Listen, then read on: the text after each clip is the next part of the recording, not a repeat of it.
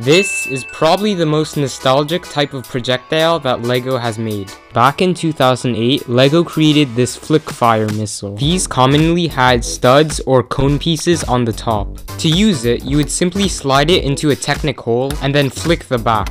The strength of the projectile depends on how hard you flick it. Once you flick enough of these missiles, your fingers will start to hurt. When I was younger, I thought that you had to push the back. And well, I was very disappointed when it didn't go very far. And that's why I think